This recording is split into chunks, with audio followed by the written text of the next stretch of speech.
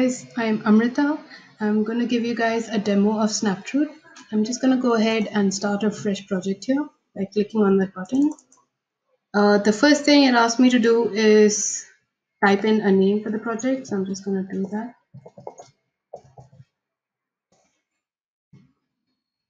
Submit.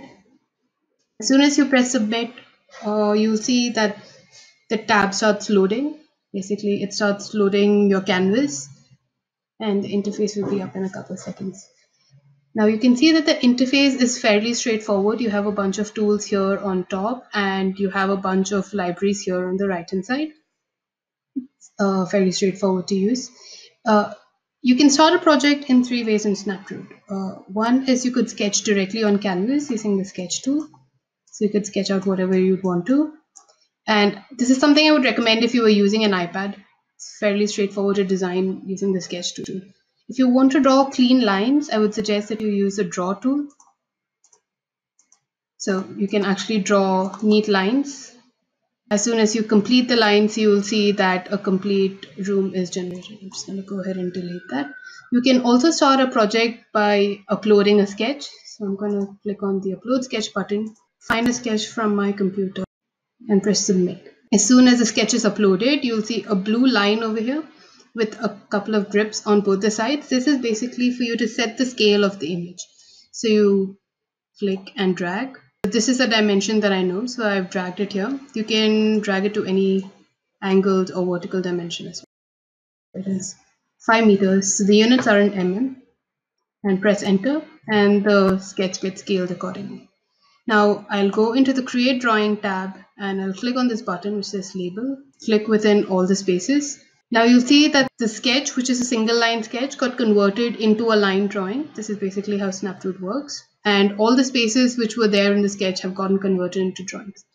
Not only that, the drawing is also quite optimized. So if you hover on any edge, you'll see that all the dimensions are rounded off to the nearest 100 mm. I'm just going to click on the select tool. I'm going to click on each room and start labeling them. This is a living, the bedroom, a dining space here, and a kitchen. I'm going to go to 3D and show you what this looks like in 3D. So you see that all the masses are extruded to a 3 meter height. Now I wanted this to be a balcony, so I'm just going to double click and label it as balcony.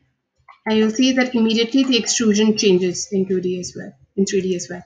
So the height of the balcony is set by default to a meter and all the other heights are set to 3 meters which you can change over here by looking at stories. Now to go back to the 2D view, I again click on story 1 and I can view the plan of story 1. Now I can go ahead and edit as I want to. I'll use the move tool and I can move either an edge or through a vertex by double clicking so I click this edge twice. I can actually move the edge itself without moving the object and I can snap it anywhere I want to. I can use the edit polygon tool to basically see what the dimensions are and if I need to correct something I can do that as well. Now I've forgotten to draw some bathrooms here so I'm going to use the draw mass tool and I'm going to draw. You can see that it snaps to everything. Once you're satisfied with the layout we have this tool basically called the auto interiors tool. So what happens when I click on that is that furniture gets sort of automatically placed within all the rooms so it sort of gives me an understanding of the scale of each of the rooms so i know if they're too big or too small. And clearly i can see that the dining room is way too big over here. I don't need it to be that big. Cool. Now i'm ready to make copies of this apartment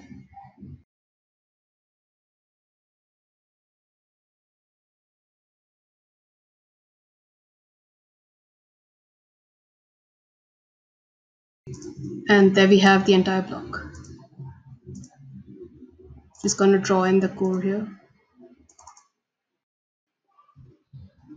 Now I'm going to go ahead and draw the site. I know that my site is approximately 50 meters by 35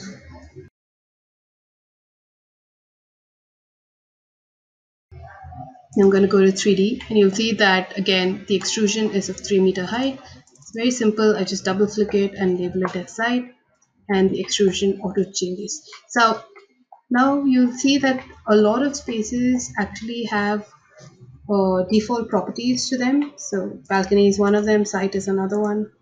You also notice that if you label something as a water body, it will go below the ground. If you label something as a road, it's created with a 50 mm extrusion.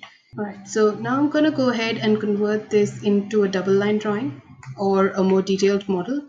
So that's very simple. You can see that this is a massing model, right? So I'm just going to click on the create building button. And there you go. You have a detailed model. I'm just going to hide the roof.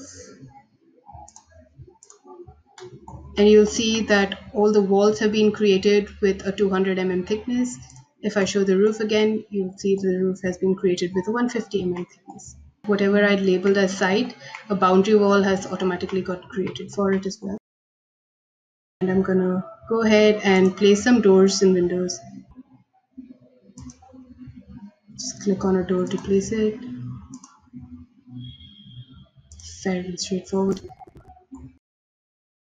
I can also start placing windows. So it's as simple as selecting a window and placing it where you'd like to. Now, as you can see that both the door and the window, they are BIM, so they create a cutout in the wall. And if I move the door as well, the cutout moves. To a couple of other features. So if you click on the areas tab, you'll see that the carpet area and built up area has been calculated for the project.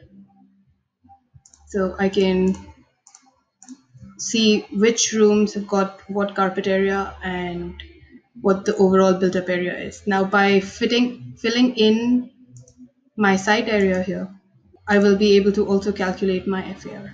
This is in square meters.